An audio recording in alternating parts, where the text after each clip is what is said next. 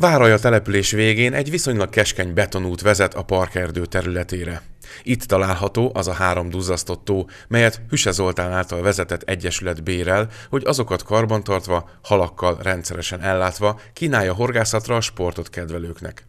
Ők hívtak meg minket az egyes tóhoz. A Vália és Portugás Egyesületnek a Majá és Váró buliát rendeztük meg. Ez, ez az első ilyen rendezvényünk. Szeretnék ebből egy hagyományt teremteni, hogy minden évben egy ilyen összejeltet, ilyen baráti beszélgetést és jó szabadidő eltöltését megfelelő keretek között, illetve megfelelő időben jól érzni magunkat.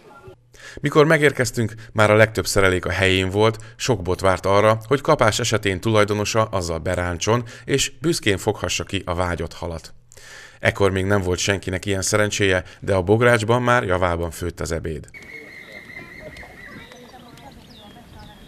Sajnos a horgászok nem szószátjár emberek, senki sem kívánt kameránk előtt mesélni horgász élményeiről, ezért Hüse Zoltát faggattam tovább, hogy lesz-e verseny a közeljövőben. Lesz versenyünk az, ebben az évben, lesz június 4-én az egy házi horgászverseny lesz, illetve lesz augusztus 20-án tervezünk még egy versenyt, az, az lehetnek vidékiek is, tehát nem egyesített tagoknak is lehet nevezni.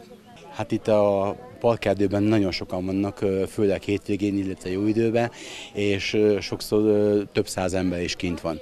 Tehát úgy gondolom, ez a maga a környezet, ez magáért beszél, hogy ahogy kinézít minden. Most egyébként ünnepeltek is a horgászok, hiszen az Egyesület az elmúlt időszakban két pályázaton is sikeresen szerepelt.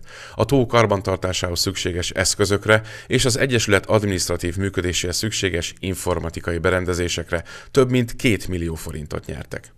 Hüse Zoltán kamerán kívül elárulta, hogy a parkerdő egy magasan fekvő, eddig eldugott helyén forrás táplál egy kis tavat. Hamarosan visszatérünk, hogy ha abból is ilyen szép horgásztavat varázsolnak, ott is forgathassunk.